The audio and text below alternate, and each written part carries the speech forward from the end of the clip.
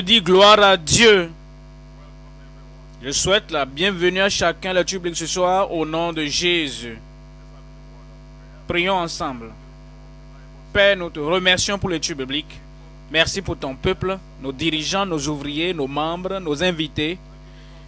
Merci parce que tu nous as amenés pour un bon objectif. Je prie que cet objectif soit atteint dans chaque vie au nom de Jésus. Montre-nous ton amour. Montre-nous ton sacrifice fait dans ton amour.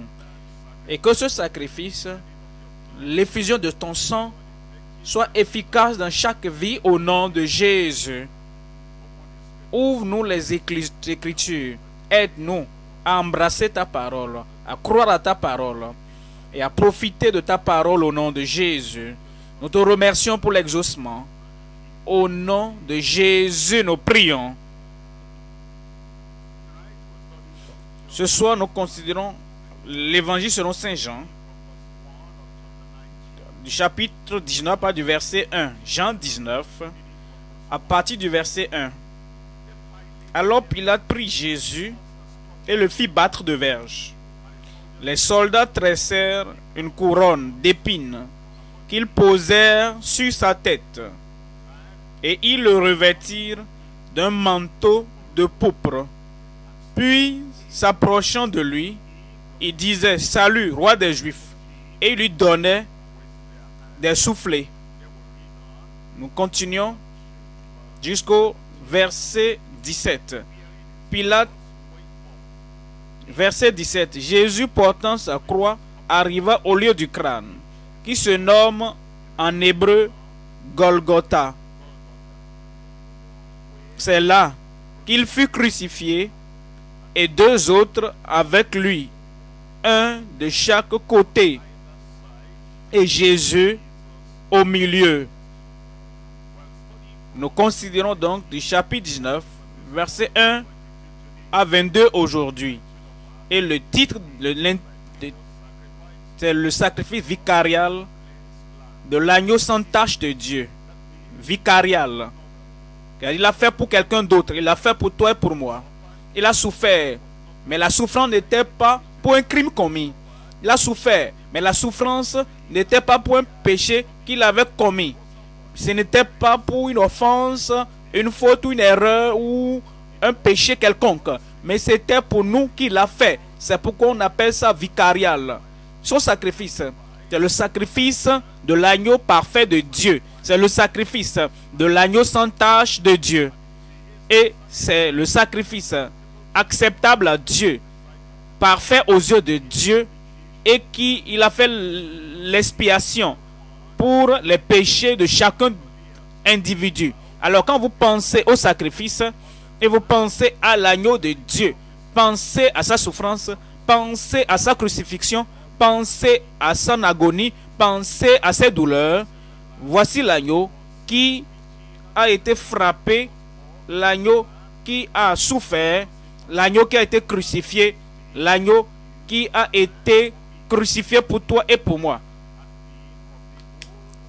L'histoire de l'agneau remonte depuis l'Ancien Testament. Et ceux qui l'avaient vu l'ont vu comme l'agneau. L'agneau qui devait porter l'iniquité, la punition, le châtiment, qui devait porter toutes les punitions de ce que nous avons fait. En Ésaïe 53. Ésaïe 53, verset 3. Ésaïe 53, verset 3. Mépriser, abandonner des hommes. Quand vous lisez le récit des hommes, le récit de la souffrance, le récit sur la couronne d'épines posée sur sa tête et le récit de l'épée qui a percé ses côtés et tout ce qu'il a subi, ce qu'ils ont fait à Jésus-Christ, vous verrez qu'il était méprisé et abandonné des hommes. Homme de douleur, et habitué à la souffrance, semblable à celui dont on détourne le visage. Nous l'avons dédaigné, nous n'avons fait de lui aucun cas. Voyez ce que les païens ont fait, ces soldats, ces romains. Voyez ce que Pilate a fait. Regardez ce que Hérode a fait. Regardez ce que tous ces juifs ont fait. Vous verrez que vous soyez juif ou païen, vous faites partie de ce que. Et Christ a été rejeté mais on nous donne les raisons. Verset 4. Cependant, ce sont nos souffrances qu'il a portées c'est de nos douleurs qui s'est chargé. Voilà pourquoi c'est vicarial. Le sacrifice vicarial, c'était pour nous. Il l'a fait pas pour lui-même. Il l'a fait pour toi. Il l'a fait pour moi. Il a porté nos souffrances. Il a porté nos hontes. Il, il s'est chargé de nos châtiments. Et il a porté nos sentences. Verset 4. Ce sont nos souffrances qu'il a portées, c'est de nos douleurs qu'il s'est chargé. Nous l'avons considéré comme puni, frappé de Dieu et humilié. Verset 5. Mais il était blessé pour nos péchés. Il était blessé. Comme on a placé la couronne d'épines sur sa tête, il a été blessé. Comme ils ont mis les fouets sur son dos, il a été blessé. Quand on l'a cloué à la croix du calvaire, crucifié, il a été blessé. On dit, mais il était blessé pas pour lui-même, pour nos péchés. C'est pourquoi c'est vicarial, un sacrifice vicarial. Et on continue toujours brisé pour nos iniquités. C'est quelque chose qu'il a fait comme substitut pour les pécheurs, comme un substitut pour le rétrograde, comme un substitut pour tout homme sur la face de la terre. Il l'a fait pour nous. Et on dit le châtiment qui nous donne la paix est tombé sur lui. Et c'est pas ça, maître, que nous sommes guéris. Verset 6. Nous étions tous errants comme des brebis. Chacun suivait sa propre voie. Et l'Éternel a fait retomber sur lui l'iniquité de nous tous. Dieu a, a fait retomber sur l'iniquité de nous tous le sacrifice vicarial de l'agneau sans tache de Dieu. Alors, cela date depuis Exode, en Exode chapitre 12, quand les enfants d'Israël devaient être rachetés, délivrés du pays d'Égypte. Quand ils devaient être sortis, qui parle le sang de l'agneau, c'était, cela a été démontré en ce temps. Parce que chaque famille devait prendre un agneau, un agneau sans tache, un agneau sans tache, un agneau irrépréhensible, sans aucune souillure, et qui devait être tué en, à la place de chacun, afin que tout Israël puisse jouir de cette protection et jouisse de cette préservation. Alors l'Éternel dit, quand je verrai le sang, je passerai pas dessus vous. Exode chapitre 12, lisons le verset 3. Exode chapitre 12, verset 3. Parlez à toute l'assemblée d'Israël et dites, le dixième jour de ce mois, on prendra un agneau pour chaque famille. Un agneau pour chaque famille. Un agneau pour chaque famille tous en péché sont privés de la gloire de Dieu. Nous avons donc tous besoin de porter les châtiments. Pour ne pas porter les châtiments, quelqu'un doit mourir pour eux de façon vicariale. C'est pourquoi il dit, on prendra un agneau pour chaque famille, un agneau pour chaque maison. Si on continue, verset 4, si la maison est trop peu nombreuse, pour un agneau, on le prendra avec son plus proche voisin, selon le nombre des personnes vous compterez pour ce agneau d'après ce que chacun peut manger. Ce sera, ce sera un agneau, verset 5, ce sera un agneau sans défaut. Alors il le faisait avant que Jésus-Christ ne vienne. C'était donc une représentation de Jésus-Christ, une représentation de Christ. C'était un symbole de quelque chose qui devait donc être fait avant la venue de Christ. Mais l'agneau doit être sans défaut, sans, tâche, sans une tâche, mal âgé d'un an, vous pourrez prendre un agneau ou un chevreuil, continue en disant, verset 12, verset 12, cette nuit-là, je passerai dans le pays d'Égypte et je frapperai tous les premiers-nés du pays d'Égypte. C'est-à-dire, tous mourront. Rappelez-vous une fois encore, même les enfants d'Israël, ils devraient mourir. Que soit juifs ou païens, tous ont péché et tous doivent payer donc la sentence du châtiment du péché. S'ils ne doivent pas mourir, si les enfants d'Israël ne doivent pas mourir, il faut un substitut. Quelqu'un, quelque chose doit prendre leur place. Et ce ne serait pas le fruit de la terre comme Caïn a offert, ce sera quelque chose qui a du sang. Parce que le sang est la vie dans l'être vivant. Et c'est ce sang qu'il a donné pour l'expiation. Il a donné pour la couverture. Il a donné pour la purification. Il a donné pour le pardon, la, le rachat du peuple. Il continue en disant qu'il y aura le jugement. Verset 12. La dernière partie du verset 12. Et j'exercerai des jugements contre tous les dieux de l'Égypte. Je suis l'Éternel. Verset 13. Le sang. Le sang de l'agneau le sang de l'agneau sans défaut, sans tâche, le sang sans tâche vous servira de signe sur les maisons où vous serez. Je verrai le sang et je passerai par-dessus vous. Et il n'y aura point de plaie qui vous détruise. Quand je saurai que l'agneau a été votre substitut, quand je verrai le sang, je saurai qu'au lieu que vous mourrez, l'agneau est déjà mort pour vous. Quand je verrai le sang, je passerai par-dessus vous. Et il n'y aura point de plaie qui vous détruise quand je frapperai le pays d'Égypte. Verset 22. Vous prendrez ensuite un bouquet d'hysope.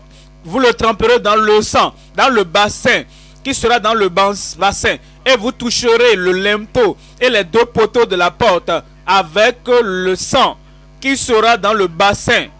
Nul de vous ne sortira de sa maison jusqu'au matin. C'est-à-dire, pendant que le jugement sera en cours, pendant que le jugement tombera sur tous dans la nuit, vous devrez rester sous l'agneau, sous le sang de l'agneau. Et quand vous restez sous le sang, je saurai que vous êtes protégé par le sang de l'agneau, sans tache, sans défaut, qui est mort pour vous. Maintenant, verset 23. Quand l'Éternel passera pour frapper l'Égypte et verra le sang sur les linteaux et sur les deux poteaux, l'Éternel passera par-dessus la porte. Et ne, on dit, quand il verra ce sang, il saura que le jugement a déjà eu lieu, la mort a déjà eu lieu. Un agneau, un substitut, est mort de façon vicariale pour tous ceux qui sont dans la maison. Et il ne permettra pas aux destructeurs d'entrer dans vos maisons pour frapper. Alors, comme nous venons en Jean au chapitre 19, c'est ce que le Seigneur démontre maintenant.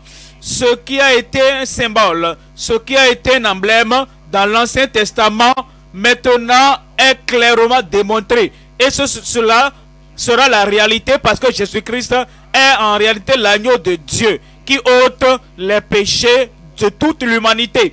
Qu'est-ce qu'on nous dit en Jean chapitre 1 Jean chapitre 1.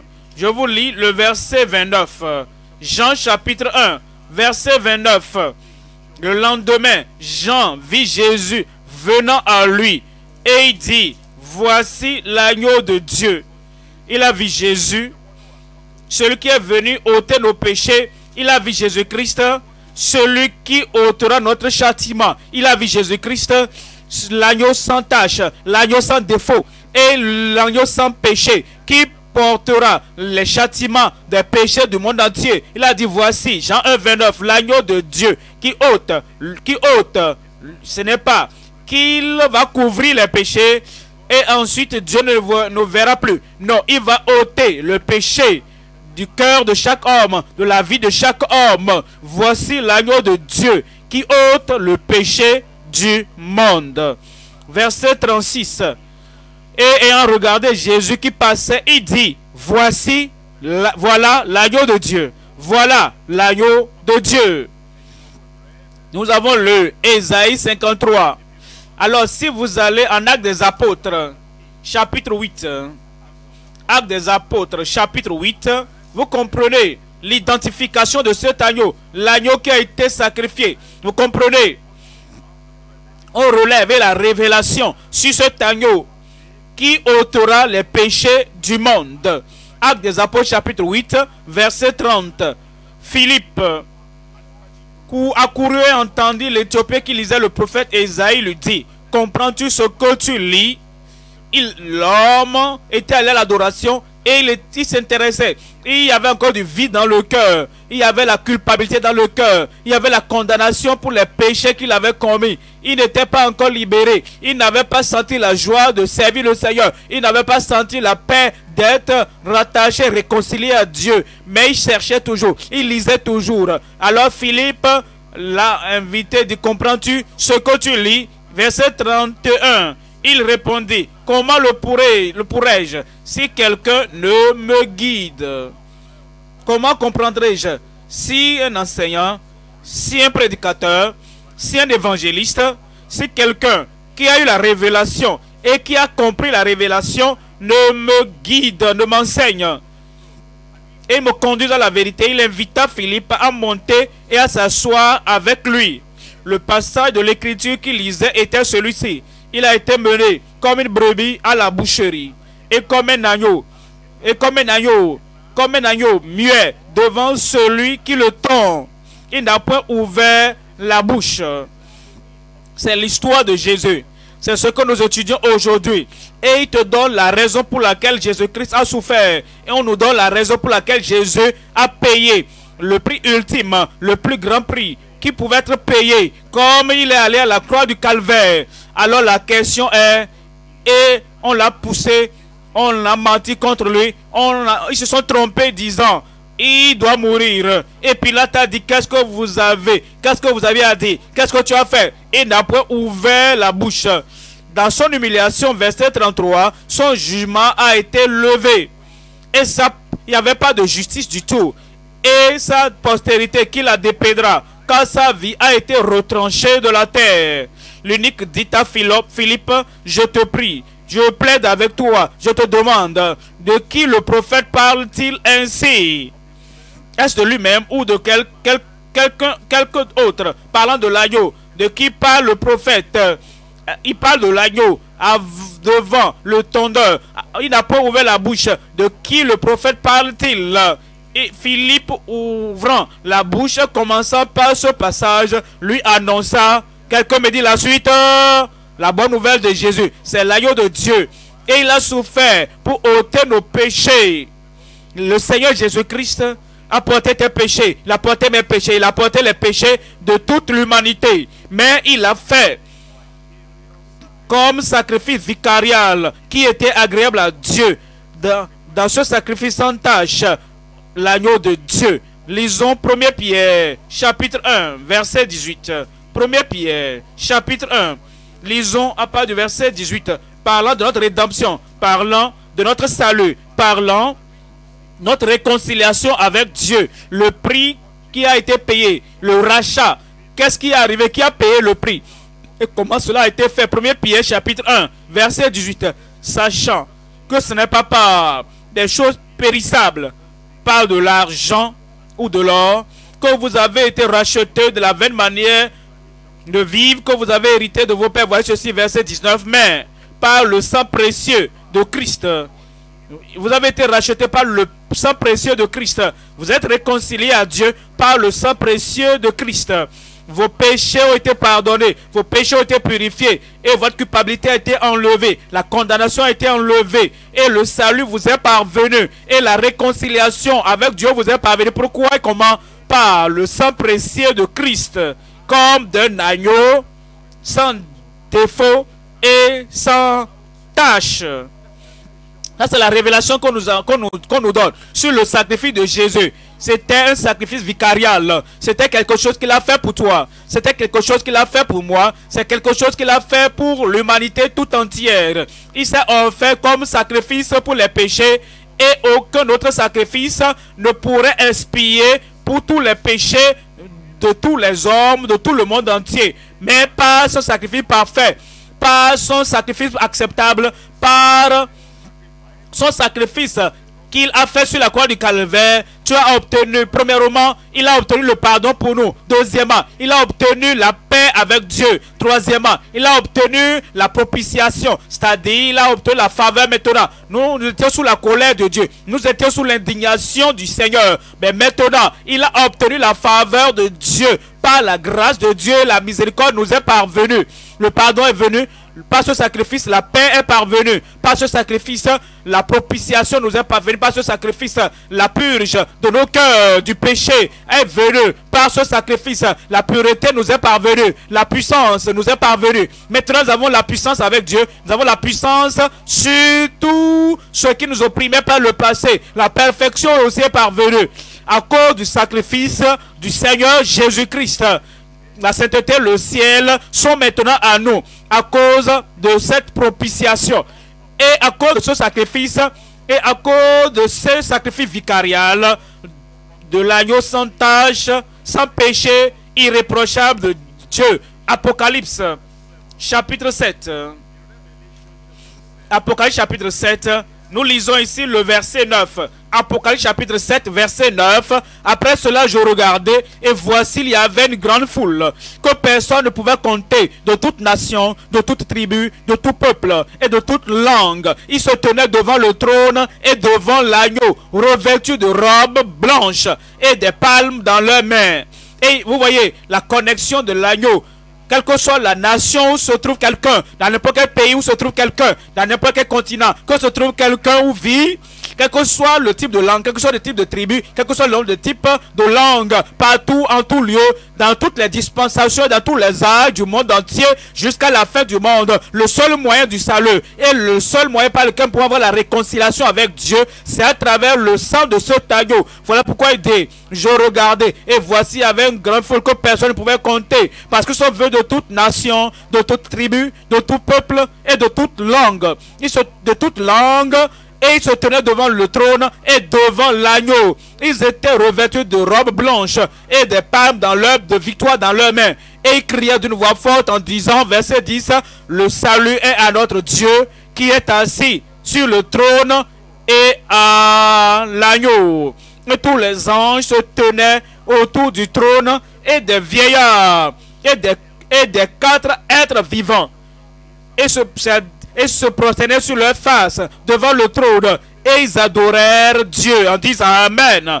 Alléluia, la gloire, la sagesse, l'action de grâce, l'honneur, la puissance et la force soient à notre Dieu au siècle des siècles. Amen.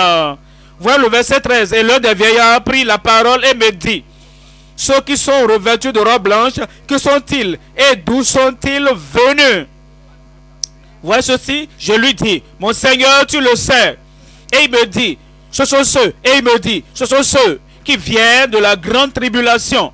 Ils ont la, de des grandes épreuves, des grands problèmes, de toutes les tentations qu'ils ont rencontrées dans le monde. Maintenant, ils ont lavé leurs robes et les ont blanchis dans le sang de l'agneau. C'est comme ça que nous recevons la rédemption. C'est comme ça que nous recevons le salut. C'est de cette manière que nous recevons la réconciliation avec Dieu. C'est comme ça que nos habits sales, nos cœurs sales, nos pensées sales, c'est comme ça que nos vies sales sont lavées, purifiées et rendues acceptables devant Dieu. Il dit pas conséquent. C'est pour cela qu'ils sont devant le trône de Dieu et le servent jour et nuit. Dans son temple, celui qui est assis sur le trône dressera sa tente sur eux. Ils n'auront plus faim. Ils n'auront plus soif. Et le soleil ne les frappera point. Ni aucune chaleur. Car l'agneau, voyez, le centre de l'adoration du ciel, le centre de la gloire du ciel, le centre de la joie au ciel, c'est l'agneau. On dit, car l'agneau qui est au milieu du trône les pètera et les conduira aux sources des eaux de la vie. Et Dieu essuiera toute l'âme de leurs yeux. Je, je prie que tu sois là. Ce soir, comme je vous ai dit, nous parlons et nous enseignons sur le sacrifice vicarial de l'agneau sans tache de Dieu. Trois points considérés comme nous considérons Jean chapitre 19. Jean 19, premier point. La cruauté et le fouet subis par la cruauté et le fouet subis par le sauveur sans péché. Vous voyez cela dans Jean chapitre 19, verset 1 à 5. Deuxième point, nous avons la condamnation et la sentence contre le fils sans tâche, le fils sans tâche, le fils sans tâche, sans défaut, la condamnation et la sentence, ou la condamnation du fils sans tâche. Troisième point, la crucifixion et la souffrance du substitut des pécheurs, du substitut des pécheurs. Il est notre substitut et il a souffert tout ce qu'il a souffert, la crucifixion, les douleurs, l'agonie, la mort. Il a souffert pour toi et il a souffert pour moi. Premier point donc, nous avons la cruauté et les fouets subis par le Sauveur sans Jean 19, verset 1er. Alors Pilate prit Jésus et le fit battre de verge. Les soldats tressèrent une couronne d'épines qu'ils posèrent sur sa tête et ils le revêtirent d'un manteau de pourpre Puis s'approchant de lui, disait, Salut, roi des Juifs. Et il lui donnait des soufflets. Puis il a sorti de nouveau et dit aux Juifs, il était sorti avant, dans le chapitre 18, mais il sortit de nouveau et dit aux Juifs, Voici, je vous l'amène dehors, afin que vous sachiez. Je vous l'amène dehors, je vous le montre, je vous le révèle, afin que vous sachiez que je ne trouve en lui aucun crime. Je vous l'amène, afin que vous sachiez que je ne trouve en lui aucun crime. C'était le sauveur sans péché. Si vous ne trouvez aucun crime en lui, pourquoi est-ce qu'on vous le fouettez? Ça, c'est pour nous. S'il n'y a point de crime en lui, pourquoi est-ce que vous mettez la couronne d'épines sur sa tête? Ça, c'est pour nous. Si vous n'avez trouvé aucun crime en lui, pourquoi est-ce que finalement vous l'avez crucifié? Ça, c'est ce qu'il a il a fait pour nous. Verset 5. Jésus sortit donc portant la couronne d'épines et le manteau de pourpre. Et Pilate leur dit, voici l'homme. Voici l'homme la cruauté et le fouet subis par le sauveur sans péché. Voyons la fin du verset 4. Voici, je vous la mets dehors afin que vous sachiez que je ne trouve en lui aucun crime. Il n'a commis aucun crime, il n'avait aucun péché, il n'a commis aucune offense, il n'a commis aucun crime. Il n'y avait pas de faute trouvée en lui. Il n'a rien dit de mauvais. Dieu n'avait aucune charge contre lui.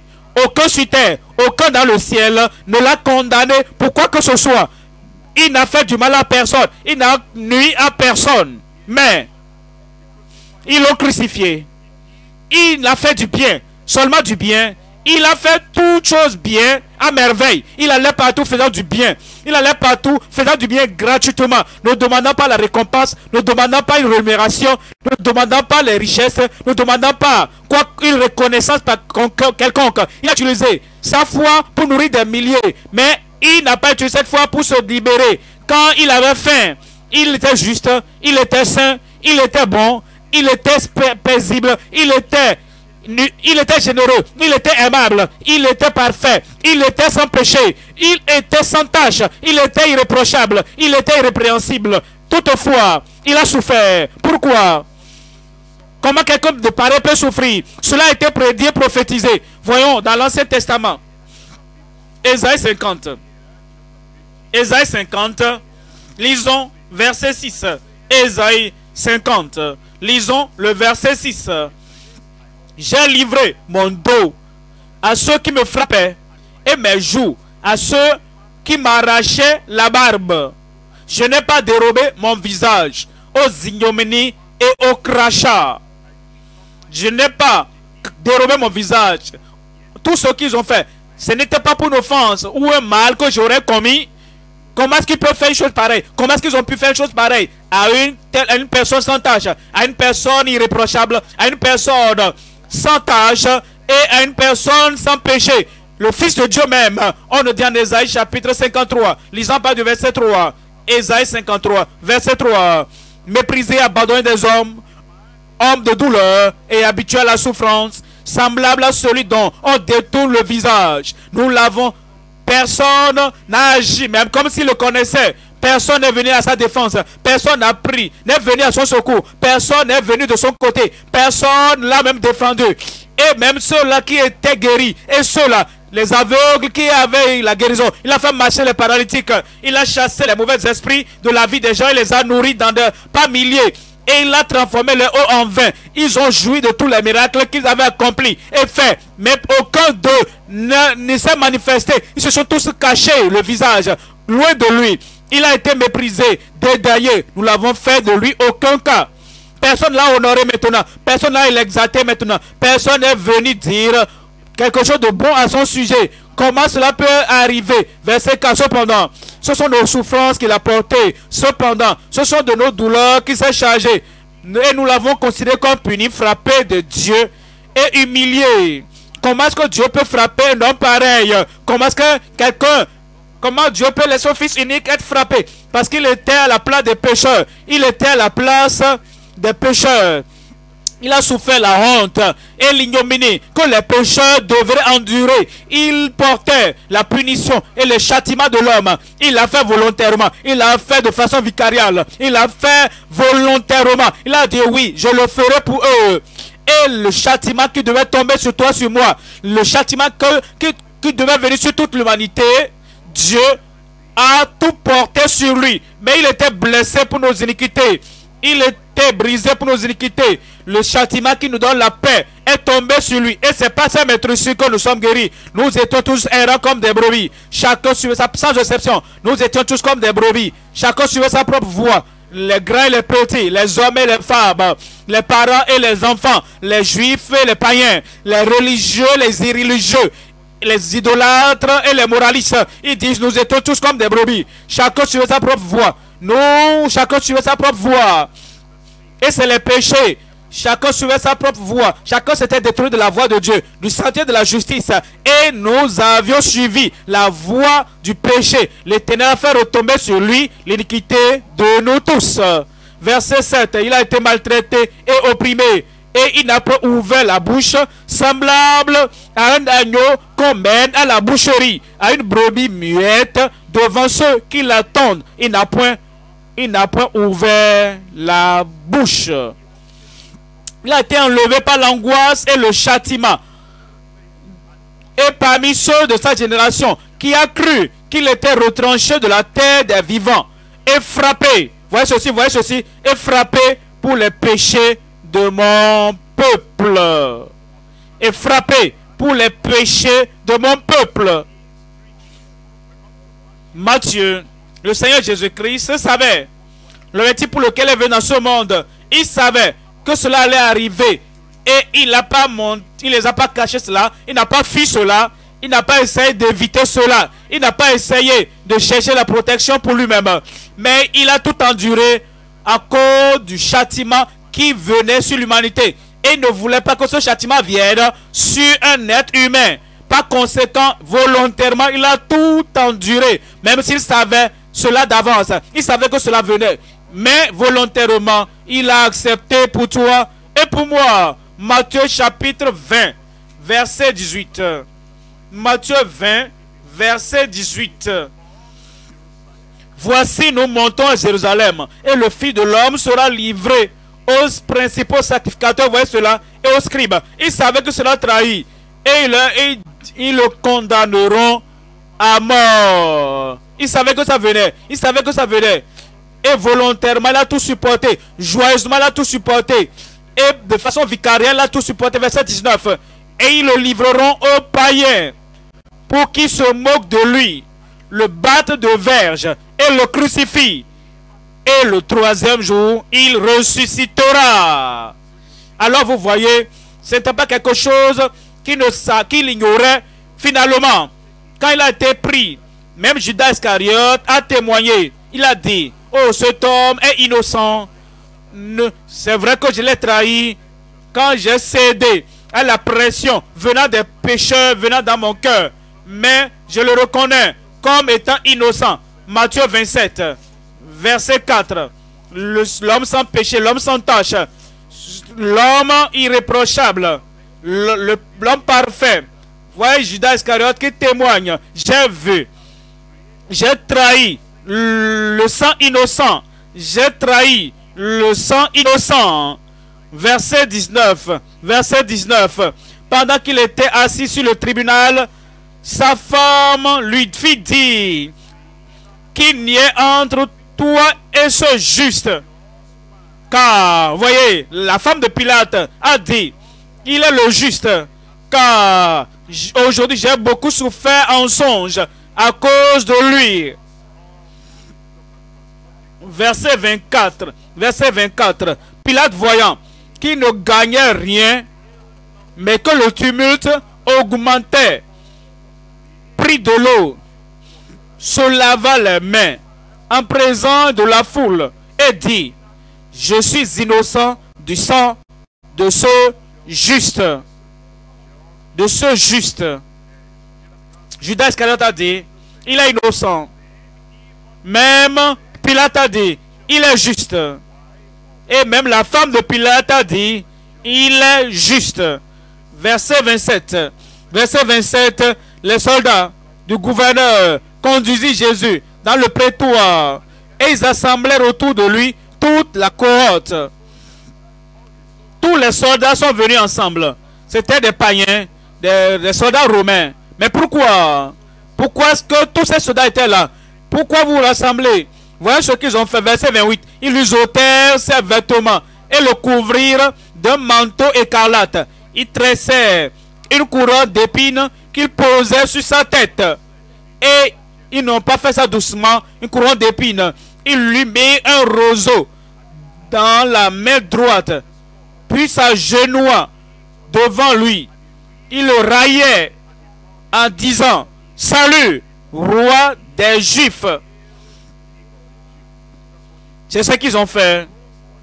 Et c'était les souffrances qu'il a endurées. Verset 30. Et il crachait contre lui. Crachait contre lui. Prenait le roseau et frappait sur sa tête. Voici les mots qu'il a endurés. Mais il n'était pas coupable de quoi que ce soit. Luc, chapitre 23. Luc 23, verset 13. Luc 23, verset 13. Pilate ayant assemblé les principaux sacrificateurs, les magistrats et le peuple leur dit, vous m'avez amené cet homme comme excitant le peuple à la révolte. Et voici, je l'ai interrogé devant vous. Et je, et je ne l'ai trouvé coupable d'aucune des choses dont vous l'accusez. Dont vous l'accusez. Je l'ai examiné, je l'ai interrogé. J'ai écouté vos plaintes, j'ai écouté vos accusations, j'ai écouté tout ce que vous avez levé contre lui. Je l'ai interrogé. Tel que un, gouverneur romain peut interroger quelqu'un. Mais je ne trouve en lui aucune chose. Héros non plus, verset 15. Car il nous l'a renvoyé. Et voici cet homme n'a rien fait, qu'il soit digne de mort. Je le relâcherai donc après l'avoir fait battre de verge. Il voulait le relâcher, mais il ne voulait pas accepter cela. Pourquoi? Parce que Christ devait souffrir. Parce que Christ devait porter tes châtiments. Parce qu'il devait porter tes mauvais actes. Verset 41. Verset 41. Puis nous, l'un des brigands sur la croix, pour nous, c'est justice. Car nous recevons ce qu'on méritait nos crimes. Mais celui-ci n'a rien fait de mal. Tout le monde témoigne. Tout le monde, même le brigand sur la croix, dit qu'il n'a rien fait de mauvais. Verset 47. Le centenier, voyant ce qui était arrivé, glorifia Dieu et dit, certainement, cet homme était juste. Certainement, réellement, cet homme était juste. Mais, croyez-vous, ce juste, cet homme juste, cet homme innocent, cet homme qui n'avait aucune faute, aucun crime, il a enduré toutes les souffrances comme s'il était le plus dangereux être humain sur la terre. La raison pour laquelle on nous dit qu'il l'a fait pour toi, il l'a fait pour moi. En Hébreu, chapitre 7, Hébreu 7, nous apprenons, parlant de sa sacrification, sans comprendre la raison. Cela te fera ne te fera pas du bien. Nous devons savoir pourquoi Dieu Tout-Puissant a permis qu'il endure toutes ces choses qu'il a eu à endurer. En Hébreu chapitre 7, lisons pas du verset 25. C'est aussi pour cela qu'il peut sauver parfaitement ceux qui s'approchent de Dieu par lui, étant toujours vivant pour intercéder en leur faveur. Verset 26. Il nous convenait en effet d'avoir un souverain sacrificateur comme lui, saint, un souverain sacrificateur qui va expier pour nos péchés. Souverain sacrificateur qui va apporter la réconciliation entre nous et Dieu. Un souverain sacrificateur. Nous, il nous convenait, en effet, qui est saint, innocent, sans tache, séparé des pécheurs et plus élevé que les cieux. 1 Pierre, chapitre 2. 1 Pierre, chapitre 2. La révélation des raisons de sa souffrance. 1 Pierre, chapitre 2, verset 22. Lui qui n'a point commis de péché n'avait pas de péché. Lui qui n'a point commis de péché, n'avait pas de mal. Lui qui n'a point de commis de péché, il n'a fait du mal à personne. Lui qui n'a point commis de péché, que ce soit par la langue ou dans les actes ou par les paroles ou dans ses actes. Lui qui n'a point commis de péché et dans la bouche duquel il soit point trouvé de fraude. Lui qui injuriait ne rendait point d'injure, maltraité, ne faisait point de menaces, mais ça remettait à celui qui juge justement. Lui qui a porté lui-même nos péchés en son corps sur le bois. Lui qui a porté lui-même nos péchés en son corps sur le bois. L'a frappé, lui-même a porté nos péchés sur son corps. Quand on a mis la couronne d'épines sur sa tête, lui-même, c'est lui qui a porté lui-même nos péchés en son corps. Et lorsqu'on l'a cloué à la croix, lui-même a porté nos péchés en son corps. Et lorsqu'on lorsqu'on l'a frappé avec l'épée, percé son côté, lui-même a porté nos péchés à son corps sur le bois, afin que mort au péché, nous vivions pour la justice. Lui, nous vivrons pour la justice au nom de Jésus. Chapitre 3, verset 18, chapitre 3, de premier. Car Christ aussi a souffert une fois pour, les péchés, pas pour ses péchés, lui juste pour des injustes. Lui juste pour des injustes. Le juste pour des injustes. celui qui est sans péché pour les pécheurs. Christ aussi a souffert une fois pour les péchés, lui juste pour des injustes, afin de nous amener à Dieu, ayant été mis à mort quant à la chair, mais ayant été rendu vivant quant à l'esprit. 1 Jean, chapitre 3. 1 Jean, chapitre 3. Lisons le verset 5. 1 Jean, chapitre 3, verset 5. Or, vous le savez, Jésus est paru pour ôter les péchés du pour ôter nos péchés. Ça, c'est la raison. Ça, c'est l'objectif de tout. Vous savez, vous devez le savoir maintenant. Vous devez savoir par expérience. Pas seulement le savoir dans la tête, non seulement le savoir par les études, mais dans votre propre esprit. Or, vous le savez, Jésus est paru pour ôter nos péchés. Et il n'y a point en lui de péché. En lui, il n'y a point de péché le Seigneur te pose la question en Lamentation chapitre 1. Lamentation chapitre 1. La question dans le verset 12. Lamentation 1. Verset. La question que le Seigneur pose à chacun de nous. Étudiant cela ce soir. Chacun qui va étudier ceci, quiconque entendra parler des souffrances du Seigneur Jésus-Christ, la douleur du Seigneur Jésus-Christ, l'agonie du Seigneur Jésus-Christ, la souffrance vicariale du Seigneur Jésus-Christ, Voici la question. Lamentation chapitre 1. Lisons bas du verset 12. Je m'adresse à vous, à vous tous qui passez ici. Regardez, regardez. Vous avez entendu parler de la crucifixion. Je m'adresse à vous. Tu as entendu parler de son agonie. Je m'adresse à toi. Tu as entendu parler de sa mort. Je sa mort agonisante. Je m'adresse à toi. Vous tous qui passez ici, regardez, voyez, s'il a une douleur pareille à ma douleur, à celle dont j'ai été frappé, l'Éternel m'a affligé au jour de son ardente colère. D'en haut, la colère qui devait tomber sur toi est tombée sur moi. Et cette agonie et cette douleur sont tombées sur moi.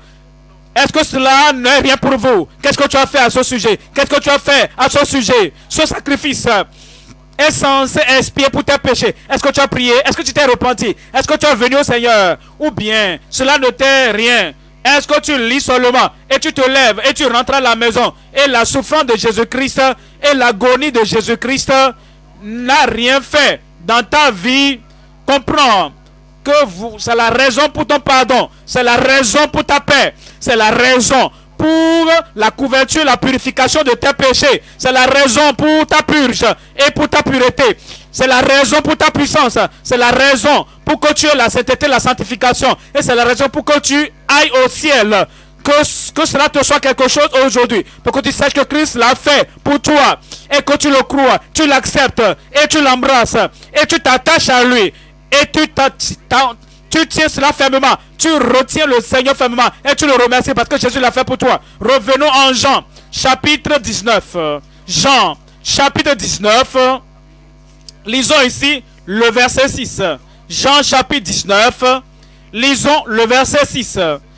Lorsque les principaux sacrificateurs et les huissiers le virent, Ils s'écriaient, crucifie, crucifie.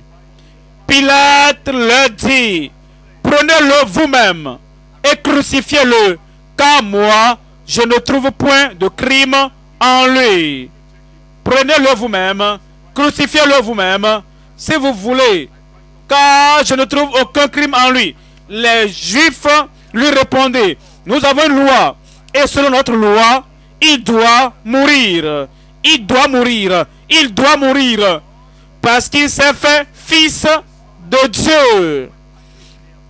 Quand Pilate entendit cette parole, sa frayeur augmenta. Il rentra dans le prétoire et dit à Jésus, Est-ce à moi? D'où es-tu? Mais Jésus ne lui donna point de réponse. Pilate lui dit, Est-ce à moi que tu ne parles pas?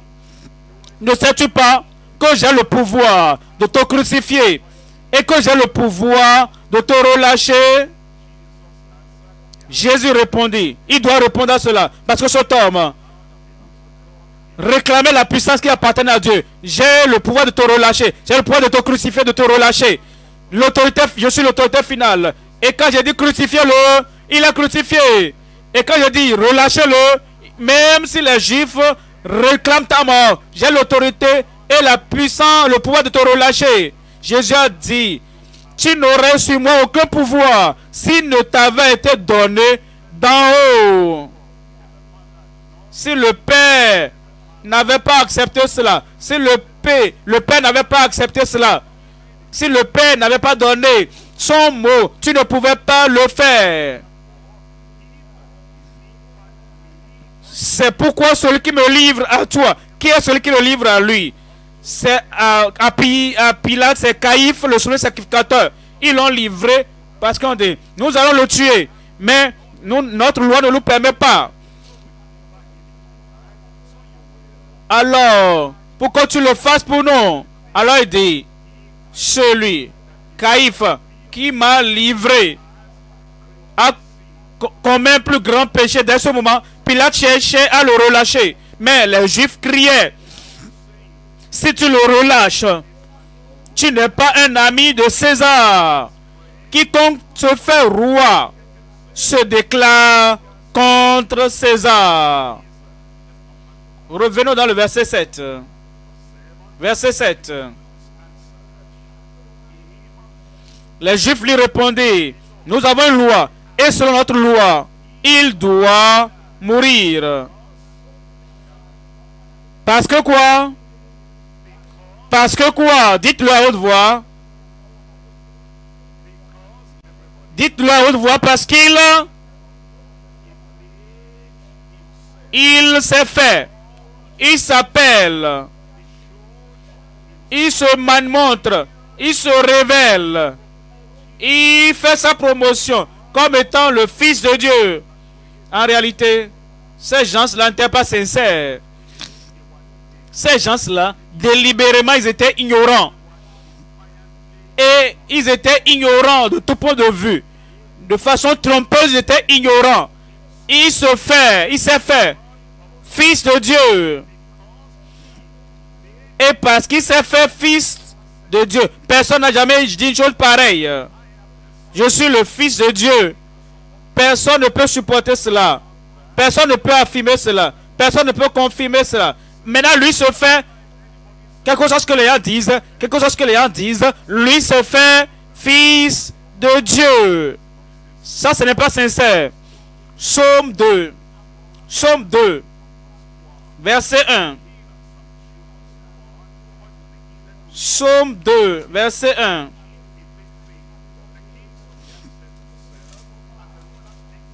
Pourquoi se tumulte parmi les nations, ces vaines pensées parmi les peuples Pourquoi les rois de la terre se soulèvent-ils et les princes se liguent-ils avec eux contre l'éternel et contre son loin Brisons leurs liens, délivrons-nous de leurs chaînes. Celui qui siège dans les lieux rit, le Seigneur se moque d'eux. Puis il leur parle dans sa colère et il les épouvante dans sa fureur. Voyez ceci, c'est moi qui ai oué mon roi sur Sion, ma montagne sainte. L'Éternel m'a dit, tu aimes, dites-moi, mon fils, je t'ai engendré aujourd'hui. Maintenant, les Juifs ont maintenant laissé les sommes dans leur synagogue, dans leur temple, dans leur adoration. Et ils savaient que le Dieu Tout-Puissant a dit, j'ai établi mon roi sur ma montagne sainte. J'ai dit à mon fils, tu es mon fils, je t'ai engendré aujourd'hui. Vous voyez ces gens-là, ils sont allés au baptême de Jean en Matthieu chapitre 3. Matthieu chapitre 3, verset 16. Quand ils sont allés, Jésus aussi est allé. Et Jean a dit, est-ce que vous venez à moi? C'est moi qui dois venir à toi. Pourquoi tu me baptises? Jésus dit, que cela soit ainsi. Accomplissons toute justice. Maintenant, Matthieu chapitre 3, verset 16. Dès que Jésus eut été baptisé, il sortit de l'eau. Et voici les cieux s'ouvrirent. Et il vit l'Esprit de Dieu descendre comme une colombe et venir sur, lui. Et voici une voix fit entendre, et voici une voix fit entendre des cieux. Et voici une voix d'où? Fit entendre qui parle Dieu Tout-Puissant, le Père. Une voix fit entendre des cieux ces paroles. Celui-ci est mon fils, dites-moi, bien-aimé, en qui j'ai mis toute mon affection? Vous voyez pourquoi voulait tuer Jésus? Il s'est fait. Ah non, non. Il ne s'est pas fait. Fils de Dieu. Somme 2. Voici mon fils. En, ce jour, j'étais engendré. Dans Matthieu chapitre 3. Voici mon fils bien-aimé en qui je prends plaisir. Il n'était pas sincère.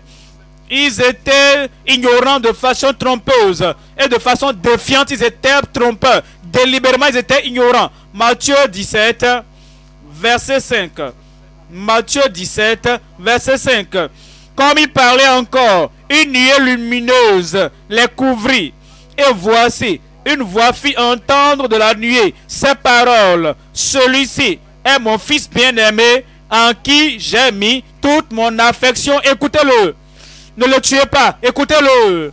Ne le méprisez pas. Écoutez-le. Ne le rejetez pas. Il est mon fils bien-aimé.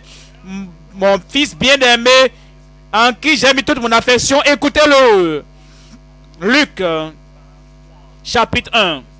Nous écoutons maintenant les témoignages d'un ange. Ce qu'un ange a dit concernant ouais, ces juifs. Ils étaient aveugles. Ces juifs, ils ont fermé les oreilles pour ne pas entendre. L'évidence était là. Le témoignage était là. C'était le Fils de Dieu. Mais ils ne voulaient pas accepter. Ils ont dit, il s'est fait Fils de Dieu. Par conséquent, vous devez le crucifier. Débarrassez-le de Luc chapitre 1. Luc chapitre 1, verset 30. L'ange lui dit, ne crains point Marie, car tu as trouvé grâce devant Dieu. Et voici, tu deviendras enceinte, et tu enfanteras un fils. Tu lui donneras le nom de, de crier ce nom, Jésus. Il sera grand et sera appelé fils du Très-Haut. Il sera appelé fils du Très-Haut. Et le Seigneur Dieu lui donnera le trône de David, son père. Il règnera sur la maison de Jacob éternellement et son règne n'aura point de fin.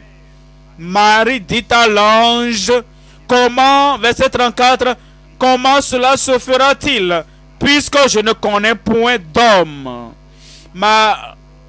L'ange lui répondit, le Saint-Esprit viendra sur toi et la puissance du Très-Haut te couvrira de son ombre. C'est pourquoi le Saint-Enfant qui naîtra de toi sera appelé tout le monde fils de Dieu. Il dit, il s'est fait, il s'est fait. Fils de Dieu. Ah non, non, non. Le Père Céleste l'a appelé mon fils. Non, le Père Céleste a dit, il est mon fils bien-aimé. Et sur la montagne de transfiguration, voici mon fils bien-aimé en qui j'ai mis toute mon affection. Écoutez-le. Maintenant, l'ange dit, il est le fils de Dieu. Nous avons écouté l'ange parler. Nous avons entendu Jean-Baptiste témoigner que c'est le fils de Dieu. Allons en Matthieu chapitre 8, Matthieu 8, verset 28. Matthieu 8, lisons le verset 28. Matthieu 8, 28. Lorsqu'il fut, fut à l'autre bord, dans le pays des Gadaréniens, deux démoniaques, sortant des sépulcres, vinrent au-devant de lui. Ils étaient si furieux que personne n'osait passer par là. Et voici, ils s'écriaient. Qui sont ceux-là qui criaient ici? Qui sont ceux qui criaient ici? Les mauvais esprits qui sont dans ces gens-là, qui les possédaient, criaient. Qu'y a-t-il entre nous et toi? Fils Jésus, fils, dites-moi, fils de Dieu, es-tu venu ici pour nous tourmenter avant le temps? Même les mauvais esprits criaient et ont dit, nous savons qui tu es. Tu es le fils de Dieu. Et ces juifs, pas défiance, délibérément ignorants, ils ont dit, il s'est fait fils de Dieu. Marc chapitre 3. Marc chapitre 3, verset 11. Marc 3, verset 11. Les esprits impurs, quand ils le voyaient, se prosternaient devant lui et s'écriaient, tu es le Fils de Dieu. Les mauvais esprits, les mauvais esprits, les esprits impurs s'écriaient, tu es le Fils de Dieu. Luc chapitre 4, verset 40. Luc 4, verset 40. Verset 40 dit, après le coucher du soleil, tous ceux qui avaient des malades atteints de diverses maladies les lui amenèrent. Il imposa les mains à chacun d'eux et il les guérit. Voyez ceci, des démons aussi sortis de beaucoup de personnes en criant et en disant, dites-moi haute voix, tu es le, tu es le fils de Dieu. Tu es le fils de Dieu. Même ces mauvais esprits l'ont appelé Jésus. Ils ont dit que tu es le fils de Dieu. Certains disaient, tu es Christ. Tu es le fils de Dieu. Jean, chapitre 1. Jean 1, verset 32. Jean, chapitre 1. Lisons le verset 32. Ces juifs dirent, Pilate, tu sais quoi? Il s'est fait fils de Dieu. Pour cela, il doit mourir. Ça, ce n'est pas vrai. Le Père l'a appelé fils de Dieu. Les anges l'ont appelé fils de Dieu. Même les mauvais esprits, les démons, les esprits impurs l'ont appelé fils de Dieu. Tous ceux qui connaissaient quelque chose le, connaissent, le concernant disaient que c'est le fils de Dieu. Jean, chapitre 1, verset 32. Jean 1, verset 32. Jean rendit ce témoignage.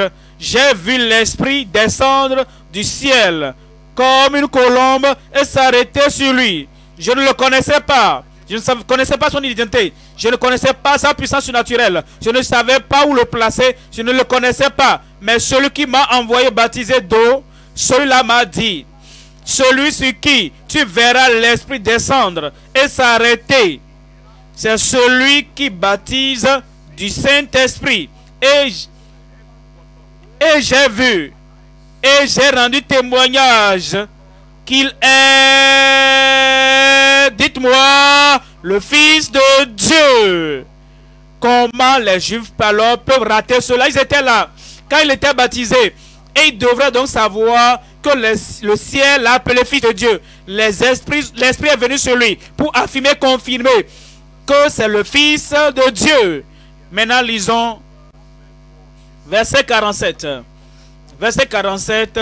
Jésus voyant venir à lui Nathanaël, Jean 1, 47, Jésus voyant venir à lui Nathanaël, dit de lui, voici vraiment un Israélite dans lequel il n'y a point de fraude. D'où me connais-tu? lui dit Nathanaël. Puis Jésus lui répondit, avant que Philippe t'appela, quand tu étais sous le figuier, je t'ai vu. Nathanaël répondit et lui dit, Rabbi, tu es qui? Le Fils de Dieu. Tu es le roi d'Israël. Il n'était pas celui qui a proclamé Nathanaël, Jésus fils de Dieu. Par la foi, tu dois m'accepter comme fils de Dieu. Il ne savait pas inspiration. Il a su par révélation. Tu es le fils de Dieu. Matthieu 16. Matthieu 16, verset 15. Matthieu 16, verset 15. Et vous, leur dit-il, qui dites-vous que je suis? Le Seigneur Jésus-Christ maintenant pose la question à ses disciples.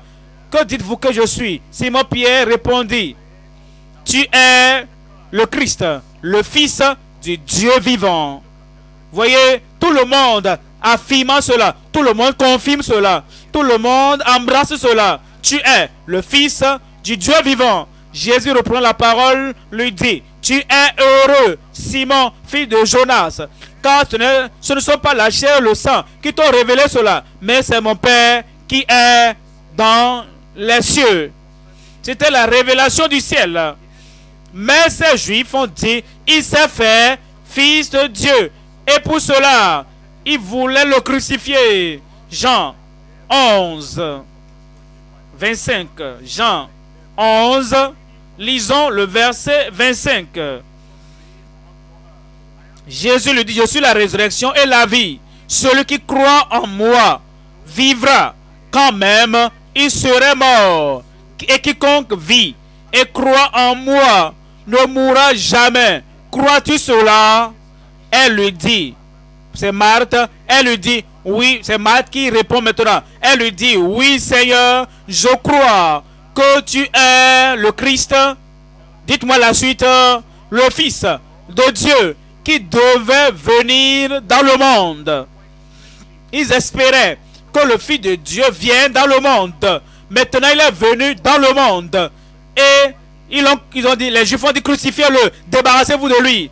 Parce qu'il s'est fait, il se fait fils de Dieu. Il ne s'est pas fait fils de Dieu, il était le fils de Dieu. Le ciel l'a confirmé, même l'enfer l'a confirmé, et la terre le confirme. Matthieu 27, 5, Matthieu 27, verset 54. Le centenier et ceux qui étaient avec lui pour garder Jésus, ayant vu le tremblement de terre et ce qui venait d'arriver, fut saisi d'une grande frayeur et dire, assurément, certainement, sans aucun homme de doute, vraiment, cet homme était, dites-moi, fils de Dieu. Même le centenier, dans l'armée romaine, a dit vraiment, cet homme était fils de Dieu. Pourquoi est-ce que nous lisons tout cela? Pourquoi est-ce que nous affirmons tout cela? Jean 20. Jean chapitre 20, verset 30 et 31.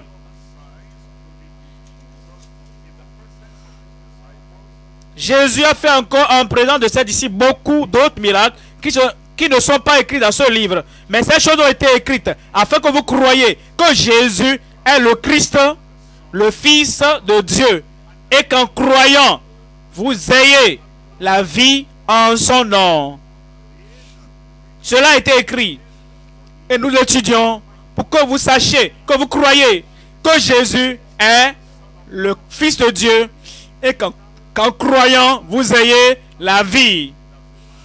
Il y a un homme qui persécutait l'église. Il y avait un homme qui blasphémait le nom du Seigneur. Il y avait un homme qui était très menaçant, meurtrier, blasphémateur. Il a une rencontre avec le Seigneur Jésus-Christ sur la voie de Damas. La lumière brillait. Toutes ces ténèbres ont disparu. Et sans que personne ne vienne le convaincre ou lui parler concernant qui était Jésus, quand il est sorti de cette visitation du ciel, voyons ce qu'il a dit.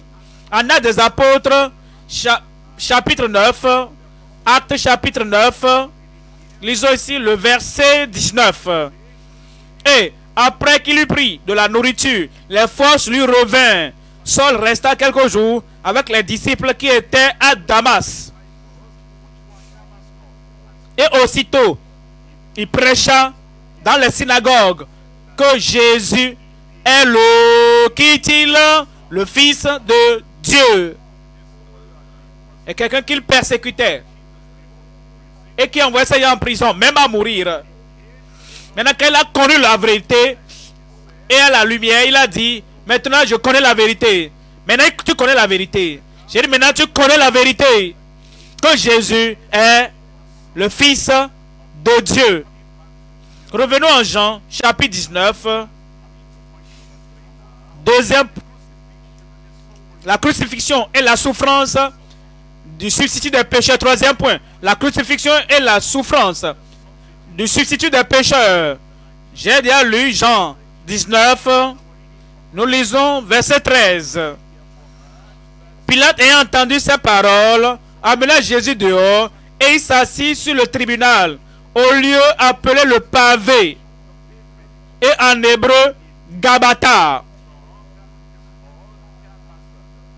C'était, on continue en disant, c'était, verset 14, c'était la préparation de la Pâque. Et environ la sixième heure, Pilate dit aux Juifs, voici votre roi. Mais ils s'écriaient, ôte, ôte, crucifie-le. Pilate leur dit, crucifierai-je votre roi? Les principaux sacrificateurs répondirent, nous n'avons de roi que César. Alors il il leur livra pour être crucifié. Il prit donc Jésus et l'emmenèrent. Jésus portant sa croix arriva au lieu du crâne qui se nomme en hébreu Golgotha. C'est là, c'est là qu'il fut crucifié et deux autres avec lui, un de chaque côté, et Jésus au milieu. Pilate fit une inscription qu'il plaça sur la croix et qui était ainsi conçue. Jésus de Nazareth, roi des Juifs.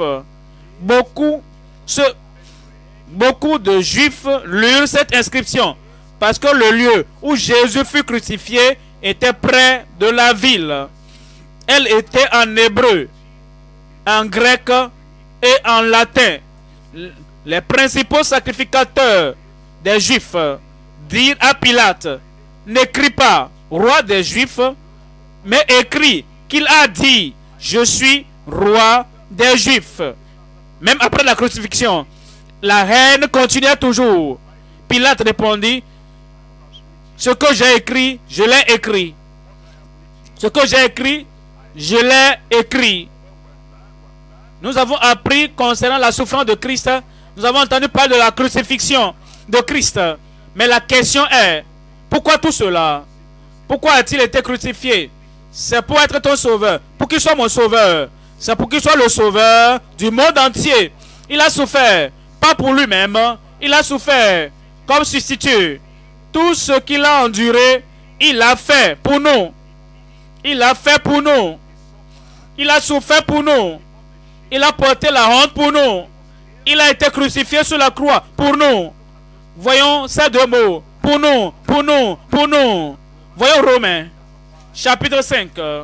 Romains 5, verset 8.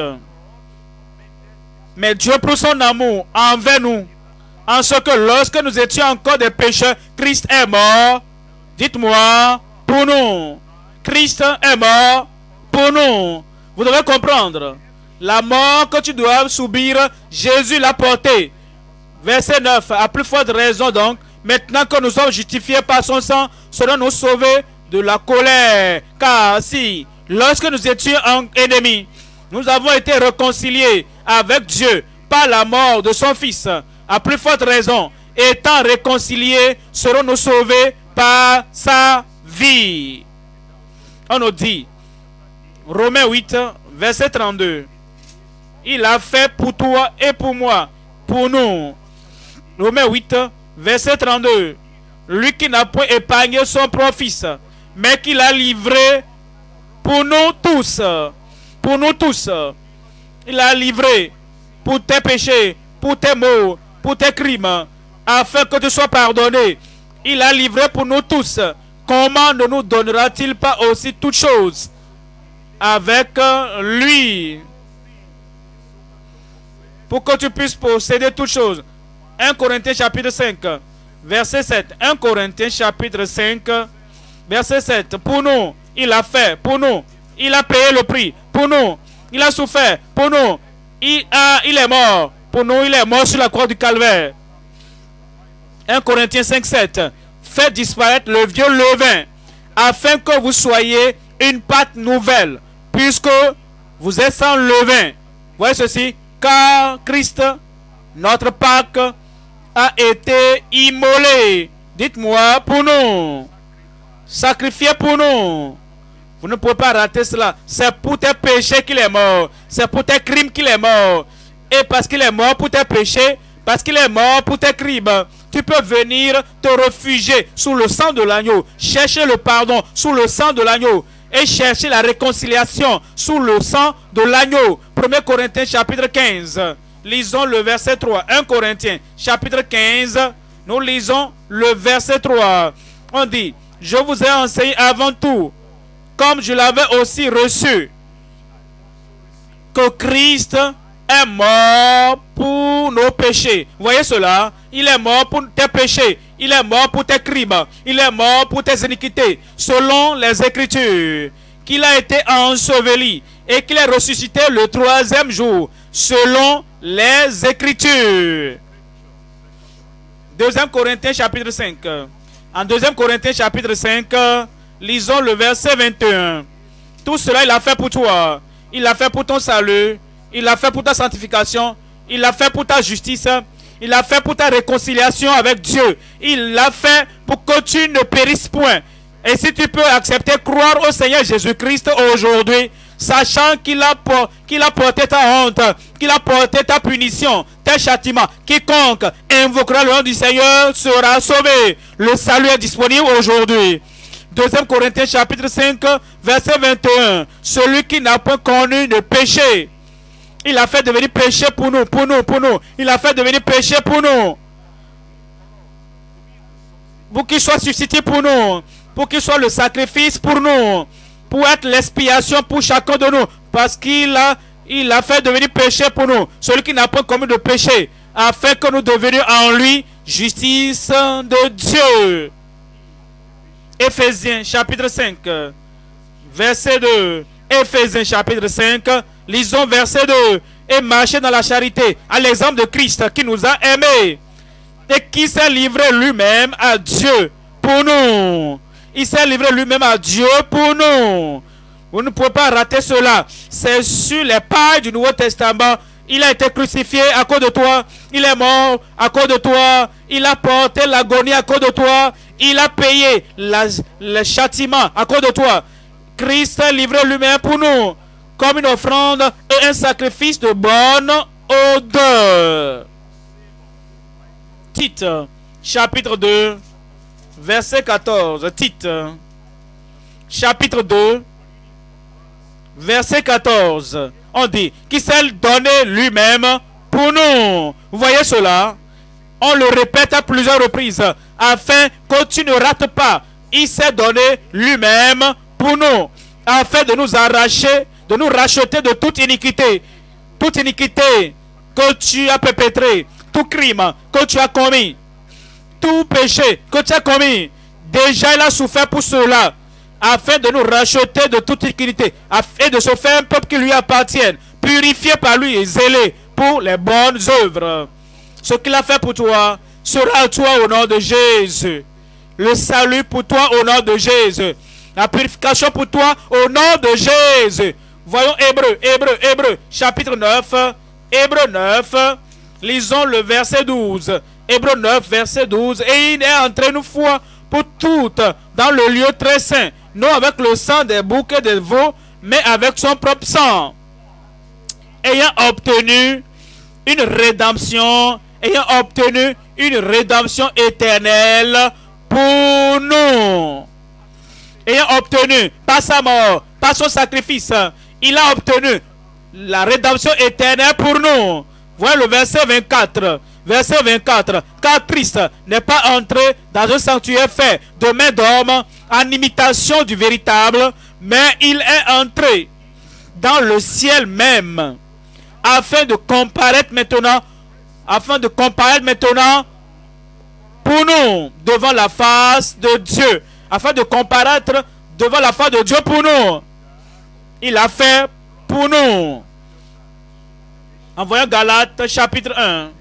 Galates chapitre 1, verset 4. Qui s'est donné lui-même pour nos péchés. Il s'est donné lui-même partout, c'est clair. Ce n'est pas pour ses péchés, ce n'est pas pour ses crimes. Il n'en avait aucun, il n'avait pas de faute. Il était sans péché, il était pur, il était parfait. Mais pour nos péchés, il est mort. Il s'est donné lui-même pour nos péchés, afin de nous arracher du présent siècle mauvais, selon la volonté de notre Dieu et Père. Maintenant, il dit pour nous, pour nous, pour nous, maintenant, il va être personnel. Il est mort pour personnel maintenant. Il a versé son sang pour moi. Il a pourvu le salut pour moi. Il a pourvu la sanctification pour moi. Il a ôté le jugement pour moi. Il est allé au ciel pour moi. Pour moi. Pour moi. Pour moi. J'ai dit pour moi. Tu dois être sauvé pour moi. Ta culpabilité doit partir pour moi. Tout le monde péche. Toute punition, châtiment du péché est ôté de toi. Il a fait pour moi. Voyons cela. Galates chapitre 2. Galates 2, verset 20. Galates 2, verset 20. J'ai été crucifié avec Christ. Et si je vis, ce n'est plus moi qui vis. C'est Christ qui vit en moi. Christ vit en moi. Si je vis maintenant dans la chair, je vis dans la foi au Fils de Dieu qui, je crois qu'il est le Fils de Dieu. Je m'attache à lui comme Fils de Dieu. Je l'embrasse comme il est le Fils de Dieu. Je sais qu'il est le Fils de Dieu. Mais mon Sauveur, dis-le pour toi. Qui m'a aimé et qui s'est livré lui-même pour, pour moi. Il s'est livré lui-même pour moi. Comme on l'a donné à Pilate. Où est-ce qu'il allait? À cause de moi. Comme on a mis la couronne d'épines sur sa tête. Pourquoi est-ce qu'il ne s'est pas plaint pour moi? Comme ils ont mis tous les fouets sur lui. Pourquoi est-ce qu'il n'a pas fui pour cela Pour moi? Maintenant, on nous dit ce soir. Il pouvait appeler des légions pour le délivrer. Il échapper. Pourquoi il n'a pas invoqué ses anges? Parce qu'il est resté là-bas. Il a porté pour moi tout le, le jugement éternel qui devait tomber sur toi. Il est resté là. Il a porté tout il m'a aimé et il s'est livré lui-même pour moi. Tout le monde. Il m'a aimé et il s'est livré lui-même. Répétez. Pour moi. Le salut est disponible maintenant pour toi. La sanctification est disponible pour toi maintenant. La guérison est disponible pour toi. Le ciel est disponible pour toi. Il est mort pour toi. Tu ne périras pas. Levons-nous et parlons à Dieu dans la prière. Il l'a fait pour toi. Il l'a fait pour toi. Il s'est livré lui-même pour moi. Il m'a aimé, il m'a aimé, il m'a aimé. Et il s'est livré lui-même pour moi. Il s'est livré lui-même pour moi. Il s'est livré lui-même pour moi. Quiconque invoquera le nom du Seigneur sera sauvé. Le salut est pour toi. La sainteté est pour toi. Le ciel est pour toi. Tout ce qu'il a porté, tout ce qu'il a acquis sur la croix du calvaire, c'est pour toi ce soir. Crois et tu le recevras.